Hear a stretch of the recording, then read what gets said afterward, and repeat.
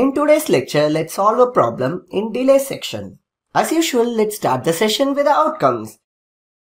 In today's session, we have only one outcome. Let's see what's that. Upon the completion of the session, the learner will be able to calculate the propagation time. Propagation time is also called as propagation delay. If you are not sure with what is propagation delay, I request you to watch my previous lecture titled Delay or Latency. In that lecture, I have explained propagation delay, transmission delay, queuing delay and processing delay. Let's dive into the question now. Here is the question. What is the propagation time if the distance between the two points is 12,000 kilometers? Assume the propagation speed to be 2.4 into 10 power 8 meters per second in cable. Let's see the given data. The distance is given that is 12,000 kilometers. Next given data is propagation speed which is 2.4 into 10 power 8 meters per second. And what we are intended to find? We are intended to find the propagation time which is also called as the propagation delay. Let's solve this problem now. We know the propagation time or propagation delay is equal to distance upon propagation speed. In other words, distance divided by the propagation speed.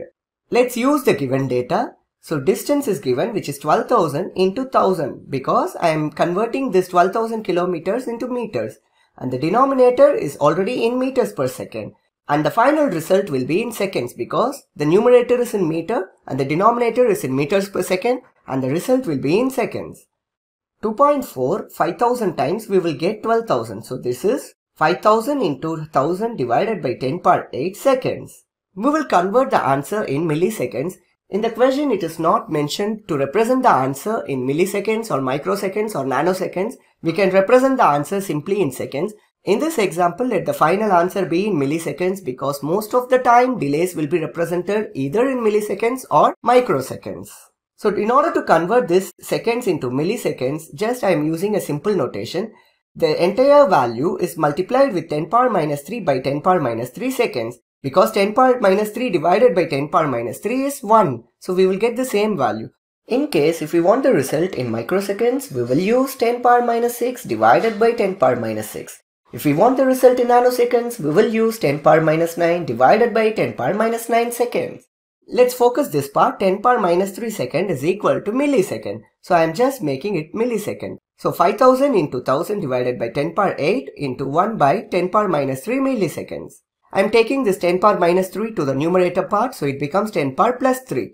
And then we have 10 power 8 in the denominator. Let's try to make 10 power 8 in the numerator so that 10 power 8 and 10 power 8 gets cancelled here. I am rewriting 5000 as 50 into 100 so that this entire part becomes 10 power 8. So 10 power 8, 10 power 8 gets cancelled and we get 50 millisecond.